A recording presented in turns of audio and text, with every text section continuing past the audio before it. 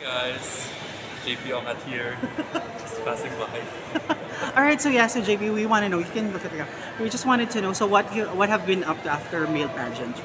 Sorry? How, what's been life for you after ma- male oh, pageantry? um, it's been really good. Like I was really able to travel extensively.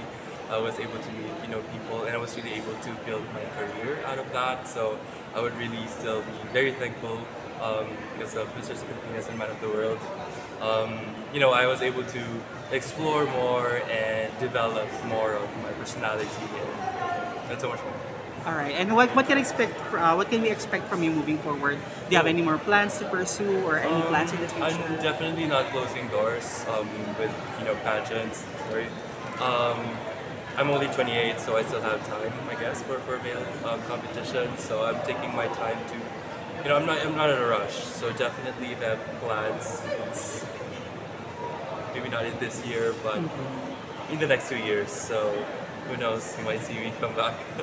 All right, how about like movies or maybe doing commercials in the future? Um, well, definitely, I am leaning towards getting projects, um, movies and um, commercials. So I'm working hard um, for that.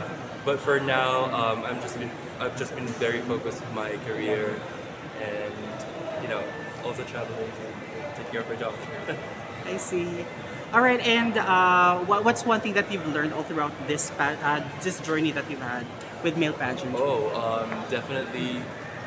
You have to be, you know, prepared, and you have to be very ready.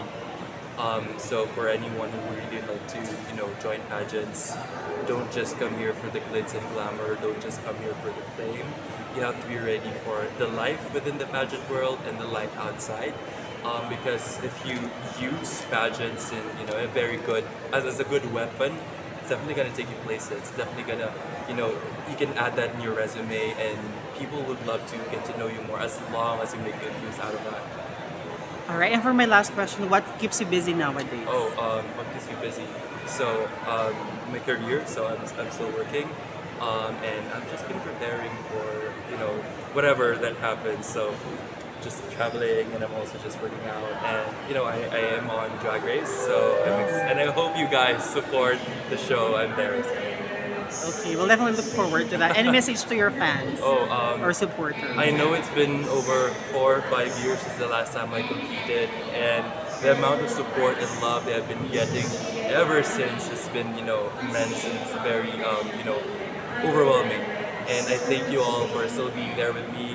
Um, for my uh, JP Army, thank you for still, you know, pushing me to, to join pageants. And even if I if I choose a different path, even if I choose a different um, endeavor, I know you'll still be there by my side. Thank you so much, guys. All right, thanks, JP. Happy Thank you, weekend. thank you.